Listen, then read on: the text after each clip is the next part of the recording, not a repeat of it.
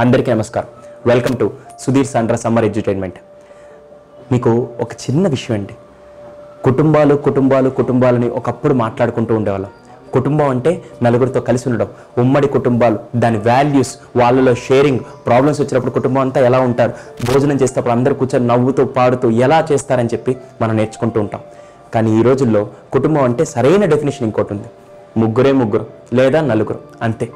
వాళ్ళకి అరే మీ పిన్ని పిలుస్తున్న పిన్న ఎవరు? నాకు తెలియదే ఇలాంటివి తీసుకురాకండి. అందుకే ఈ సమ్మర్లో వీలైతే జస్ట్ వన్ డే లేకుంటే టూ డేస్ మీ ఇళ్ళకి మీ హౌసెస్కి మీ రిలేటివ్స్ని పిలవండి. లేకపోతే మీ పిల్లల్ని లేకుంటే మీరందరూ ఒక్క వీకెండ్ వాళ్ళ దగ్గరికి వెళ్ళండి. సార్ పెళ్ళిళ్ళకి వెళ్ళినప్పుడు కూడా అరే ఈయన మీ మామయ్య అంటే మామయ్య. అవునా? ఓకే అంకల్ నమస్తే. బాయ్. అంతే. ఇంకా అసలు ఆ మామయ్య ఎక్కడ ఉంటాడో అసలు ఆ మామయ్య మామూలుగా పిల్లలు ఎలా ఉంటారు ఫ్యామిలీ ఎలా ఉంటుంది వాళ్ళ ఇంట్లో వాల్యూ సిస్టమ్ ఎలా ఉంటుంది వాళ్ళ బాండింగ్ ఎలా ఉంటుంది అవన్నీ కనుక మనం చెప్పడం కంటే వీళ్ళు అక్కడ నేర్చుకుంటూ ఉన్నారనుకోండి అప్పుడు వీళ్ళకి తెలుస్తుంది ఓ కుటుంబం అంటే కేవలం మన అమ్మ నాన్న నేనే కాదు ఇక్కడ బంధువులందరూ ఉన్నారు ఈ బంధువులందరూ కలిసి ఉంటేనే అదొక పెద్ద కుటుంబంగా దాని వాల్యూస్ బాగుంటాయి అని చెప్పి ఇండైరెక్ట్గా మీరు నేర్పించడానికి దానికి ఏంటంటే visiting relatives place or inviting relatives to your house.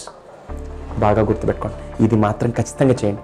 వీలైతే సమ్మర్లో మీరు వాళ్ళ ఇంట్లోనే పెట్టుకోకుండా కా రిలేటివ్స్ లేకపోతే కనీసం ఫ్రెండ్స్ హౌసెస్కైనా పంపించండి. టూ డేస్ పాటు అరే వెళ్ళి ఫస్ట్ వాళ్ళని రమ్మనండి. వాళ్ళు వచ్చిన తర్వాత ఖచ్చితంగా మీరు వెళ్తారంటే దే ఫీల్ సో హ్యాపీ ఇది దయచేసి చేయండి.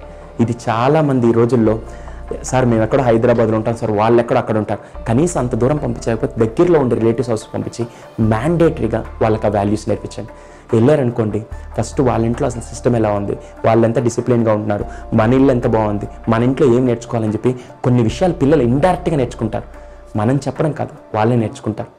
So send them to relatives place or else invite your relatives to your place so that they will have a very good bonding అప్పుడు కుటుంబం అంటే ఎస్ నాకు ఇంతమంది ఉన్నారు. అయ్యా మా అంకల్ పిల్లలు ఉండేవాళ్ళు అలా చేసేవాళ్ళని చెప్పి వాళ్ళు రేపు స్కూల్కి వెళ్ళాక వీళ్ళన్నీ షేర్ చేసుకుంటుంటారు. అప్పుడు అర్థమవుతుంది ఆ డాడీ డాడీ నన్ను కూడా తీసుకెళ్ళి. మన మా ఫ్రెండ్ సమ్మర్కి వాళ్ళ రిలేటివ్స్ ఇంటికి వెళ్ళారంటే నేను కూడా వెళ్దాం డాడీ.